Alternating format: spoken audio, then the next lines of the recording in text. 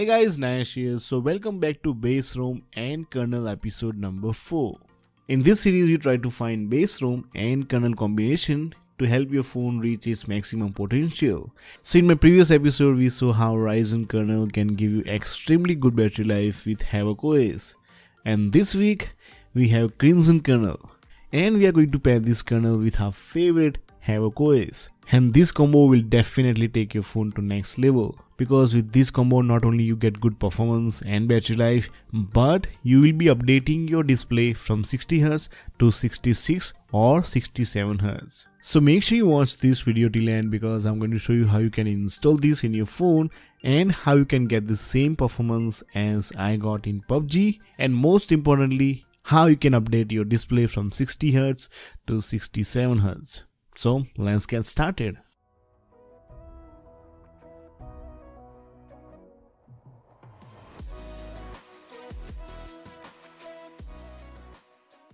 So in this base ROM and kernel combo, we are going to install Crimson kernel with Havoc OS. Now Havoc OS comes by default with Azure kernel. Now it's up to you if you want to keep that, that's your personal choice. But after installing Crimson kernel, you will get the smoothest experience in your phone.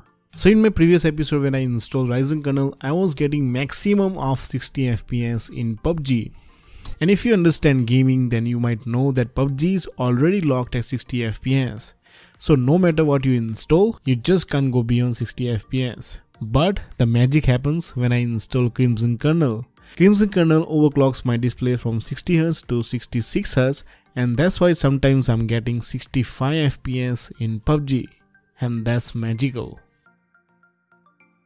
And just to be sure, I checked my display in different apps and each app is showing my display is at 66 Hz. So what's the benefit of overclocking your display? Your app opening time, your day-to-day -day use, and especially when you're scrolling something on Instagram or Facebook will be smooth. Normally on 60 Hz, you will see some kind of lags when scrolling. But after installing Crimson kernel, you will feel you just bought $1000 flagship phone. Now obviously my phone is not that expensive, it's just $200 phone, but the performance I'm getting is insane. After installing this kernel, your phone's temperature will remain constant. Doesn't matter what you do, your phone temperature will always be under 30 degrees.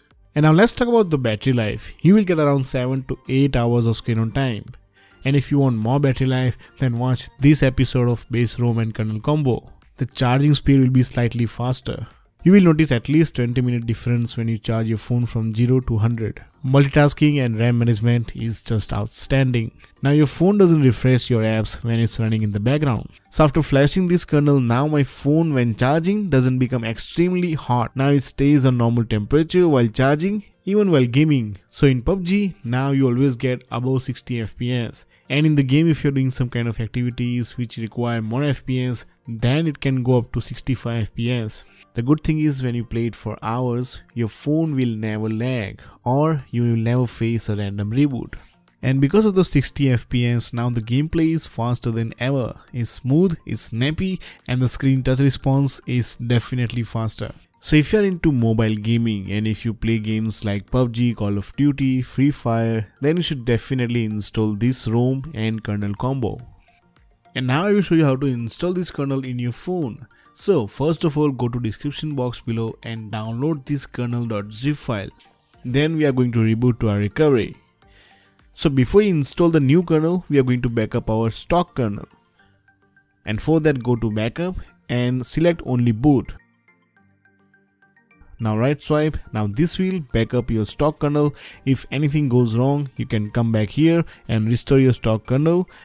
Now go to install, locate the kernel, right swipe to install. It will take around 30 seconds.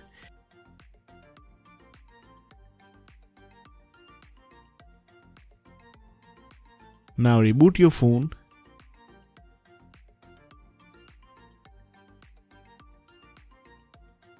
The first boot might take around 2 minutes. So once your phone is booted, go to settings, go to about.